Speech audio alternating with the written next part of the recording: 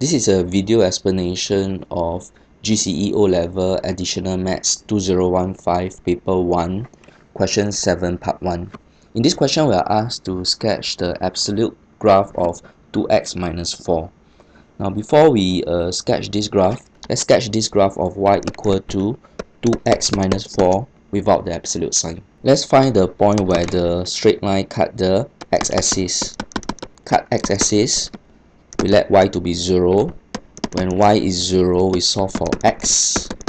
X will be equal to 2 hence the straight line cut the x-axis at x equal to 2 y is 0 cut y-axis we let x equal to 0 so uh, y will be equal to 2 multiplied by 0 minus 4 so we cut the y-axis at 0 negative 4 2 0 is this point here 0 negative 4 is here. 2 points sufficient for a straight line. I'm going to join the points together.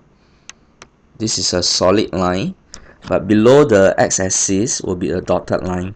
Because this is a straight line of y equal to 2x minus 4 without the absolute sign.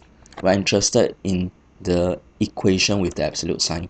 So for the absolute part the negative y value have to reflect on the x-axis to get the actual graph here.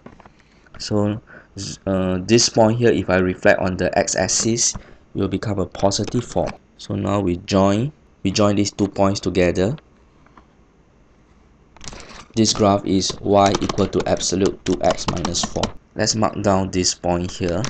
In part 2 of this question we are given a straight line with gradient 3 and this straight line passes through 0 negative 1 we are asked to find the intersection of this straight line and this uh, y equal to absolute 2x minus 4 and to find the intersection point we have to solve a simultaneous equation. Hence we have to get the equation of this straight line out first.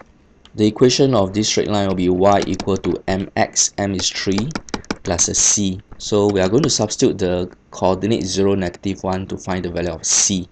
So if we do the substitution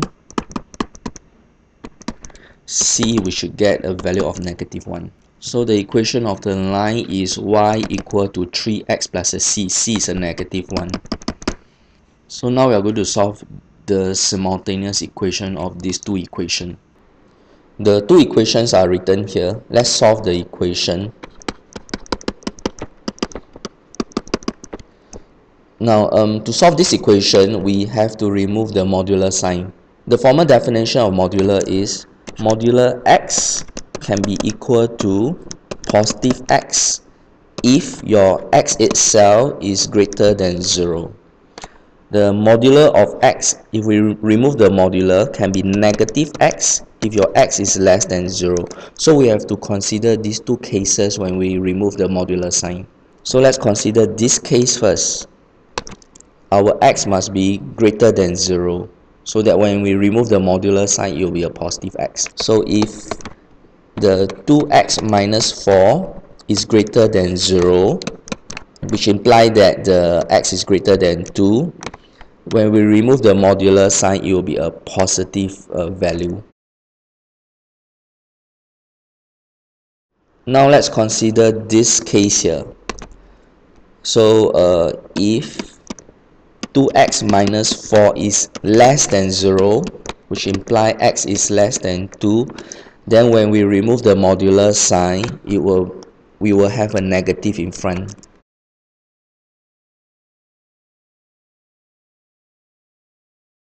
Let's solve for x. Negative 3 will be equal to x. X is equal to negative 3 now we have to reject this value here because for x to be valid for this case here the x must be greater than 2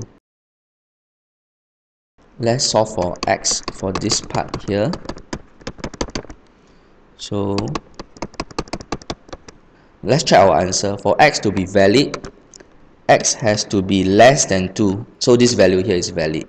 Let's find the y coordinate. When x is 1 3 times 1 minus 1 will give us a 2 Hence, the point of intersection is at the coordinate x equal to 1, y equal to 2.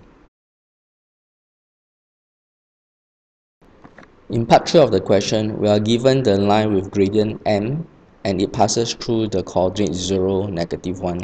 So the equation of the line is y equal to mx plus c.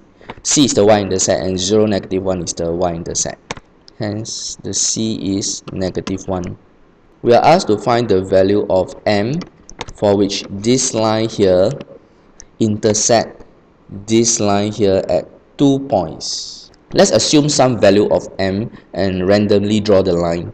So this line passes through the coordinate 0, negative 1 and assuming that intersect at these two points here this is one possible line of this equation where the y-intercept is 0, negative 1 and the m we are supposed to find. Now to do this question, let's assume the red color line intersect the graph at only one point.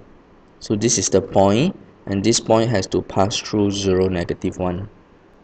The gradient of this line is uh, 1 divided by 2, so it's half x um, the y-intercept is negative 1 so the gradient of this green color line is a half when m is half this green line intersect the graph at only one point in order for the green line to intersect the graph at two points we have to shift the green line up when the green line is shifted up that means the line will be steeper meaning the gradient here will increase this is one possible line where it still cut the 0 negative 1 and intersect the graph at two points.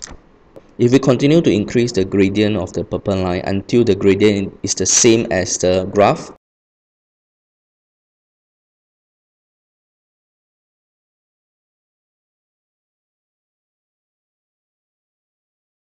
the line is shown here the equation of this line is y equal to mx. The gradient is the same as this graph here. The gradient of this graph is 2. So it's 2x minus away 1. The y-intercept is minus 1. Now, um, what is important here is the gradient 2 and the gradient half here. When m is greater than half and less than 2, this line here will intersect the graph at two points. Let's understand part 3 again using animation. We are told that this line here cut through the point 0 minus 1. It has the value m and we are asked to find the value of m such that this line here and the graph y equal to absolute 2x minus 4 intersect at two points. For now, the green line intersect the actual graph at one point only. So we are going to increase the gradient of 0.5 upwards such that the green and the black will intersect at two points. So we slowly increase the gradient.